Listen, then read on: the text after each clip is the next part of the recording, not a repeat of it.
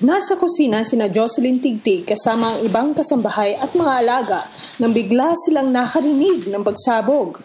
Akala nila lindol lamang at hindi masyadong pinansin pero nung pangalawang pagsabog. Napakalakas.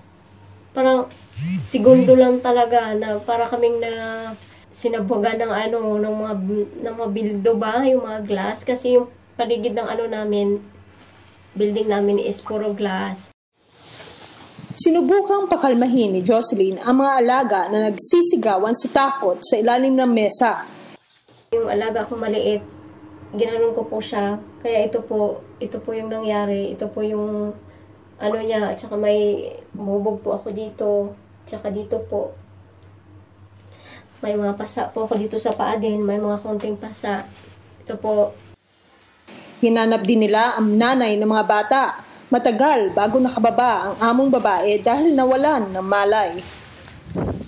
Yung pagbaba ni nanay, nakita na lang namin na may mga dugo na siya sa mukha. Yung, yung paglakad niya, hindi, hindi na siya masyadong nakakalakad. Nasugatan din ng bubog sa paa ang among lalaki. Naawa si Jocelyn sa pamilyang pinagtatrabahuhan na napamahal na rin sa kanya bilang pamilya. Kaya gusto niya itong damayan sa trahedyang sinapit makikita mo talaga sa mukha nila yung napaka-down nila kasi yung bahay na yun is I think almost 11 years or more or more than na pinaghirapan nilang mag-asawa tapos sa isang iglap lang yun mawawala na siya. Para kay Jocelyn, isang bangungot ang nangyari.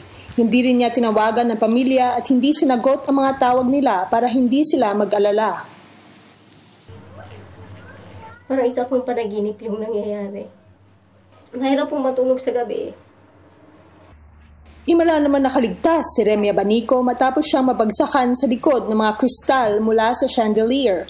Katatapos lang niyang mamalansya at kumain nang lumabas siya sa kanyang kwarto. Nagbagsak man tong kristal sa likod ko, ganit nakatabon ang kamot ko diri sa ulo. Siguro kung wala ining akong kamot nga gintabon sa ulo ko, ining ulo ko amo ang nahuklab. Pero thanks God, amo lang gid ni ang injured ko. Tapos, ari ang pinakadako nga damage diri. 17 stitches na sa. Grabe na ang dugo sa akong kamot. Mag-isa lang sa bahay noon si Remia. Pagdating ng kanyang mga amo, agad siyang dinala sa ospital.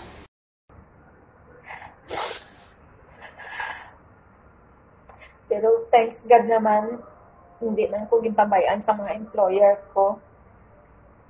Sila pa gani kay hindi sa akon kay sila mismo nakita nila sitwasyon sa balay. Hindi sila magpati na makasurvive ako.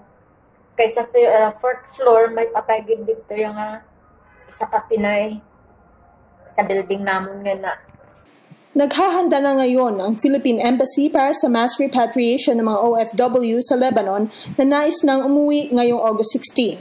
Pero tulad ni Jocelyn, ayaw pang umuwi ni Remya. Basi mag-stay pagit ako dire siguro. Muna. Basi maayos man ang tanan. Wala ako nakahibi sa natabo sa akon pero nakahibi ako sa tanan ng mga taong nagmalasakit sa akon nadamo pagali ang may nagapalangga sa akon. Pero si Ursula Guira, siyam na taon ng domestic helper sa Beirut, ay lumapit na sa Embahada ng Pilipinas sa Beirut para magpatulong umuwi sa Cavite nagaano ako na umuwi na. Mm. Kasi natatakot ako mm. kasi may mga balibalita nga na meron pang isang susunod. Mm. Siyempre, hindi ko naiintayin pa. Eh, ang pinipilit kasi ng amo ko is aksidente. Mm. Sabi ko, okay, aksidente. Pero oh, ayoko na magkaroon pa ng susunod pang aksidente. Pakas pa sa mukha ni Ursula Guira ang mga tinamong sugat sa malakas na pagsabog sa Beirut noong Martes. Hanggang ngayon, ramdam pa rin niya ang trauma. Kwento ni Ursula, tumilapon siya at tinamaan ng mga basag na salamin. Kaya nagtamo siya ng mga sugat at pasa sa iba-ibang bahagi ng katawan. Siguro nawalan din ako ng mali kasi yung mga oras na yun kasi wala akong naramdamang kirot, walang sakit, walang kahit Manhid. na ano. Oo.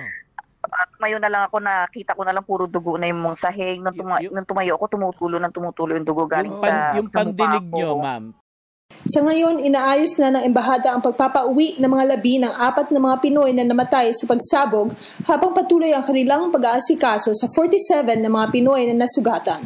Ayon kay Foreign Secretary Teddy Locsin, 15 milyong piso ang ibubuhos ng gobyerno para sa repatriation program. Sa 16 na Agosto ang dating dito ng unang chartered flight. Apat na raan ang inaasahang umuwi. Nagkaagrian naman ang mga pulis at mga nagpoprotesta na galit dahil sa kapabayaan umano ng gobyerno.